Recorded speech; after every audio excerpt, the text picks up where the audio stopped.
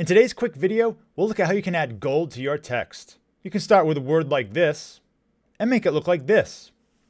I've created a new document in Affinity Photo here. Let me add some text to it. I'll do this with the Artistic Text tool. Now if I click on this tool here, you'll notice there's two different text tools, the Frame Text tool and the Artistic Text tool. I recommend using the Artistic Text tool. You may see this icon here, which is the Frame Text tool. If you see that, just click and hold on it, and then select the Artistic Text tool instead. Now on your canvas, you can click and drag, and you can start typing a word. I'll resize my text just to make it a little easier to see. To find gold textures, you can search the website Unsplash and type gold texture. I found one here I liked, so I downloaded it to my computer. Now in Affinity Photo, I'll place that gold image into my document.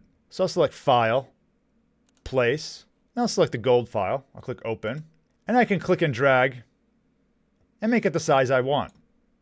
Now over here on my layer stack, you can see the gold image on top of the text. And the key to this technique is you want to drag the gold into the text. So with your gold layer selected, click and drag and let go over the name of your text layer. So let go here.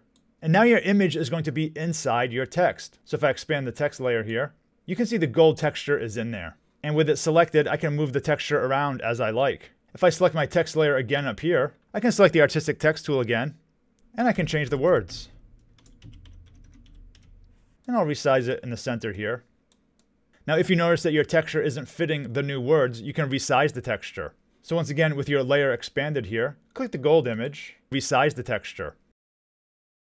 And that's how you can add a gold texture or any type of pattern to your text in Affinity Photo. If there's any specific tips you'd like to see, leave a comment down below. Thanks for watching and see you in the next video.